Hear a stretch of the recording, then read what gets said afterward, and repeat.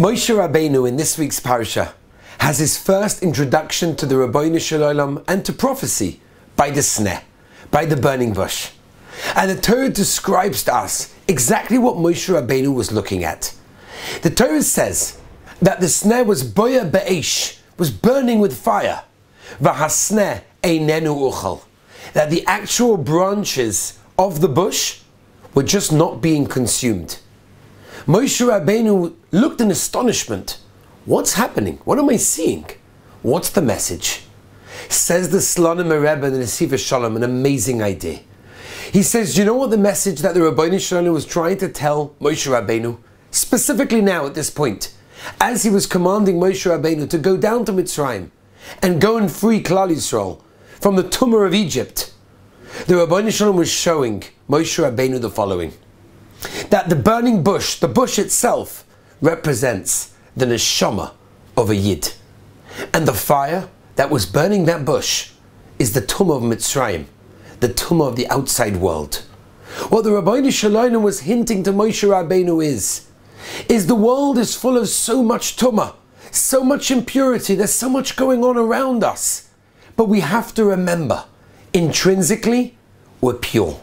Intrinsically, our neshamas are perfect. And sometimes we can be surrounded by the most colorful, interesting, intriguing fires of the world that look so exciting. But yet, they're trying to burn our neshama, but it doesn't work. Because our neshama will always be pure, and neshama will always be intact. A boy came to me this week, and he said to me, What's going to be? And I said to him, Do you know how much the Ribono Shel Olam loves you? And he said, Uh uh, not me. Do you know what I've done? And I said, Uh uh, the Ribono Shel Olam still does. Whatever you do, the tumah of Mitzrayim, the fires of the impurity of the world around us will never extinguish our pure neshama. The Kozhnitzer Maggid said over the most amazing moshel.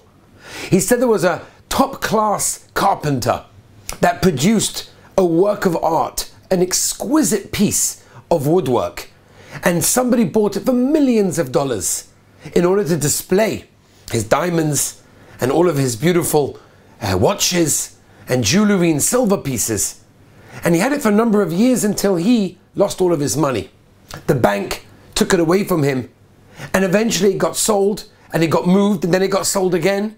And by the time it was finished, it actually ended up in a shoemaker's storefront, actually showing shoelaces. This carpenter was once walking in the street 25 years later after he produced that piece, and his shoelace snapped. And he asked someone, Tell me, where can I get a new shoelace? So they told him, Oh, there's a store down the street, go in there. He goes in there, and the fellow in the store says to him, why don't you check out our selection of shoelaces? Go look at that cupboard over there. And he looks at the cupboard and it looks so familiar. And he says, hold on a minute, this is mine. This is the cabinet that I created, that I designed. It was so beautiful. It doesn't look like that anymore. It's scratched over there. It's cracked in that place. It's not how I made it, but I can still see the original beauty that I originally made it with. The Ribono Shel Olam puts our beautiful neshama into this world. Yes, there's a lot of fire going on.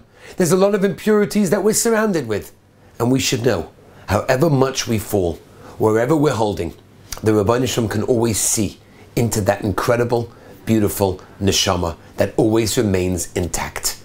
That's the message of this week's parsha. Have a wonderful Shabbos. To listen to more by Rabbi Avi Wiesenfeld, visit